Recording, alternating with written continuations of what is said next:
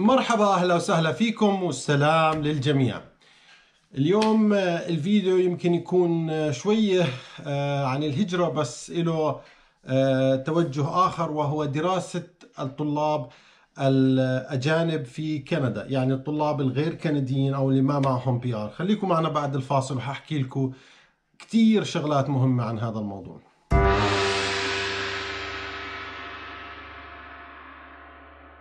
هذا الفيديو برعاية 365 كندا International Education and Immigration Services بيقدموا لك كل الخدمات للدراسة والعمل في كندا تواصلوا معهم على طرق التواصل الموجودة في هذا الإعلان وإن شاء الله راح يخدموكم. آه، يمكن أول سؤال بيسألوه الطلبة اللي بدهم يجوا على كندا ليش نيجي على كندا شو السبب؟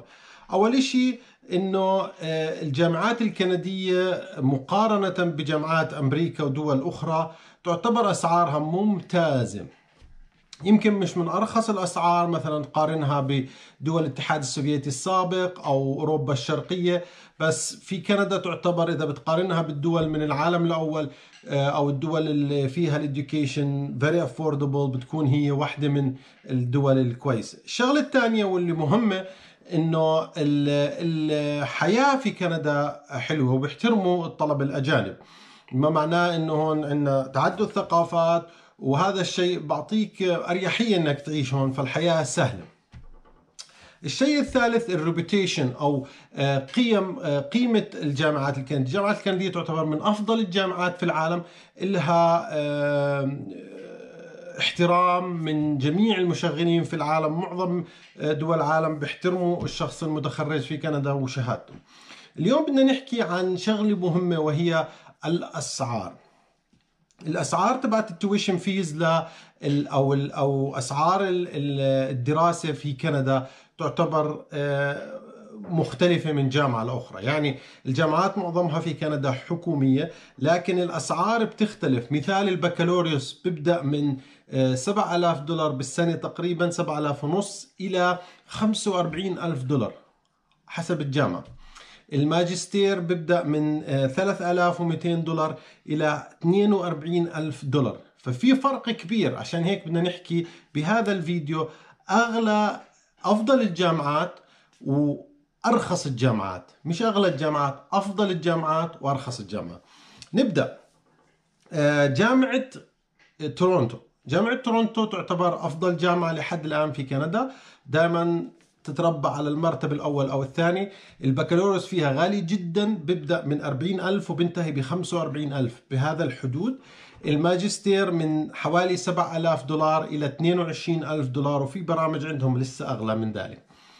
University of British Columbia جامعة British uh, كولومبيا أو كولومبيا uh, البريطانية. البكالوريوس فيها من 25 ألف إلى 36 37 ألف والماجستير حوالي 9000 دولار. الجامعة الثالثة اللي هي مقيل هدول أفضل ثلاث جامعات بنحكي عنهم. جامعة مقيل من الجامعات الراقية والرائعة. أه تدرس باللغة الإنجليزية موجودة في مقاطعة كيبيك. عشان هيك بدي أركز عليها أنا بدرس في اللغة الإنجليزية. البكالوريوس تبعها من 16000 إلى 45000 والماستر 16000 آه، بروح إلى آه، حوالي 25000 بيعتمد على البرنامج. ال McMaster University رابع جامعة في كندا. البكالوريوس فيها من من 20000 ل 27000 والماجستير من 16000 إلى 19000 أو 20000 تقريبا. الجامعة الخامسة اللي هي Université de Montréal أو جامعة مونتريال آه، جامعة مدرسة بتدرس في الفرنسي. آه، في عندهم بعض البرامج باللغة الإنجليزية. البكالوريوس عندهم من 13000 إلى 17000 والماجستير عندهم حوالي 17000 دولار. الآن السؤال المهم أرخص الجامعات وهذا آه، جدا آه، راح تشعروا بالفرق في الأسعار. آه، أول جامعة حط لكم أسمائهم باللغة الإنجليزية عشان تدوروا عليهم. جامعة Brandon University Brandon University جامعة مش من من 500 جامعة في العالم لكن جامعة جيدة يعني. مكانها في مدينة براندون في مانيتوبا. آه، هي أرخص جامعة في كندا. السعر حوالي 7000 ونص دولار للبكالوريوس. هذا بنحكي على البكالوريوس الآن. الثاني وحدة اسمها جامعة سانت بونفيس هاي بتدرس باللغة الفرنسية موجودة في وينيبيغ مانيتوبا وسعرها حوالي برضو 7500 دولار. الجامعة الثالثة جامعة جويلف موجودة في مدينة جويلف في أونتاريو السعر تبعها حوالي 9700 10000 دولار نحكي بالسنة للبكالوريوس. الجامعة الرابعة اللي هي Canadian Mennonite University في وينيبيغ آه، تقريبا عشر ألاف ونص آه، للبكالوريوس. الرابعة Memorial University of Newfoundland هاي الجامعة من الجامعات الممتازة موجودة في سان جونز في Newfoundland and Labrador في شمال كندا في الشمال الشرقي على المحيط. مدينة جميلة جدا. السعر البكالوريوس أو آه، تكلفة البكالوريوس فيها حوالي 11 ألف ونص دولار. تعتبر من آه، بالنسبة للجامعات يعني أنا بفضل هدول هاي الجامعة وجامعة جويلف من جامعات رخيصة. الماجستير آه، أرخص الجامعات أول إشي Memorial University of Newfoundland بسان جون نيوفونلاند نفس اللي حكينا عنها 3000 دولار 3200 دولار تقريبا سعر الماجستير أو بالسنة. ال University of Northern British Columbia Northern British Columbia في برنس جورج بريتش كولومبيا حوالي 3300 دولار.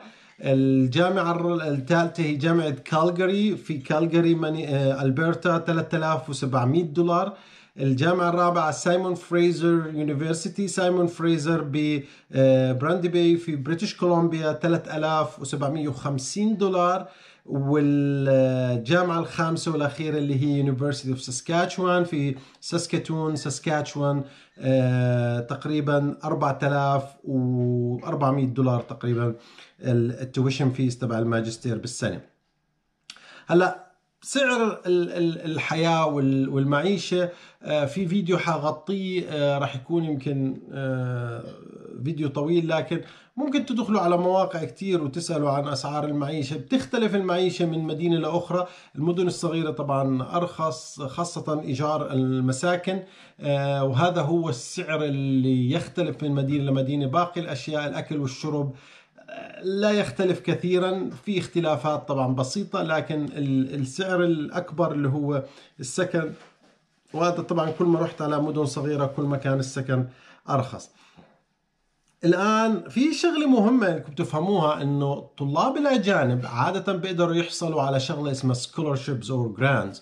هاي عبارة عن منح دراسية من الجامعة بتعطيها أو من آه، مؤسسات ثانية. هذه المنح الدراسية لا تعطى لأي طالب تعطى للطالب المتميز. يعني أنت إذا أنت عندك العلامات كلها A's وضليتك على A A A الفصل الأول الفصل الثاني تقدر تقدم. يعني ما بعطوك إياها أوتوماتيك لازم تقدم على المنحة. وعادة بتطلعوا إذا فعلا A's بعطوك هاي المنحة بتختلف. ممكن تقدم على أربع خمس منح ممكن تكون ألف ممكن تكون عشر آلاف بيعتمد على المنحة والداعم.